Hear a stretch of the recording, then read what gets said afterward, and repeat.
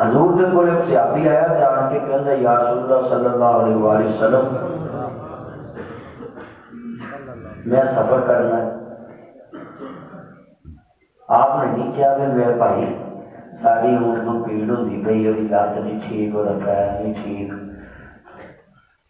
سانو تو کوئی کہہ دینا، میں تیری بھابی نو لے کے سفر جانا۔ تے اسی آنے نہیں جی ساری گاڑی کا اسٹیئرنگ بھی کام کر۔ میرے وہی اسٹیئرنگ کام کر رہا ہاں تے نہ رکھیا عاشق رسول نہ رکھیا محب رسول۔ تے قرآن کی آیت کا منکر ہو گیا تو آوانو علی البر والتقوی قرآن کہتا ہے کہ نیکی دے کام سے تعاون کر۔ ٹھیکیدار قرآن دا جی میرا منہج قرآن و سنت ہے۔ جو عالم، جو عوام دوسرے کی عزت نو گرام کی کوشش کرے جبکہ حضور نے خود فرمایا کہ جہے بندے نے کسی کی عزت نو اوتھے ذلیل کیتا، جتھے وہ عزت ہے، اللہ انہوں اوتھے ذلیل کرے گا، جتھے انہوں اللہ کی مدد کی ضرورت ہے، اللہ بے یارو مدد کار چھوڑ دے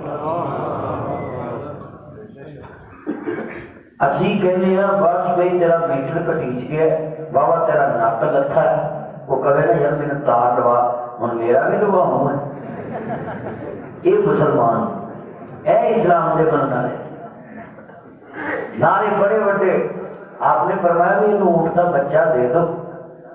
وہ جابی اندر ماں، آزا سنے کی واٹی، دس کے کی ہے؟